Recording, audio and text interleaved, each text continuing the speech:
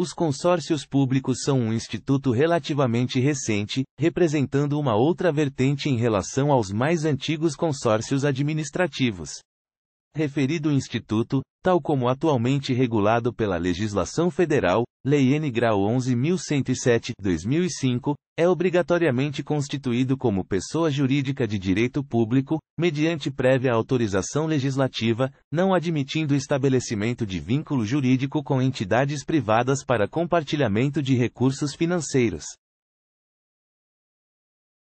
Analisando a questão, você responde: verdadeiro ou falso? O gabarito é falso.